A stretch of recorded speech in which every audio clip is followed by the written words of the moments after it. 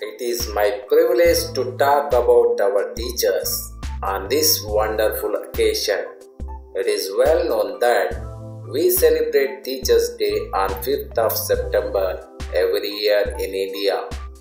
5th September marked as Teachers' Day in memory of Dr. Sarvepalli Radhakrishnan, who was a teacher par excellence and also one of the successful presidents of India. I think the most important character of a good teacher can have to be friendly and congenial with his students.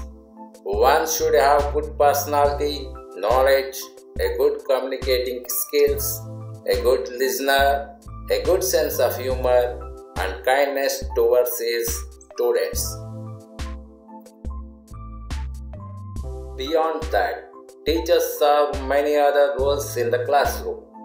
Teachers set their tones in the classroom, build a warm environment, mentor and nurture students, becomes a role model, and listen and look for signs of troubles. The most common role a teacher plays in the classroom is to impart knowledge to children. The role of a teacher in society is significant and valuable. It has far reaching influence on the society. He lives in, and no other personality can have an influence more profound than that of a teacher.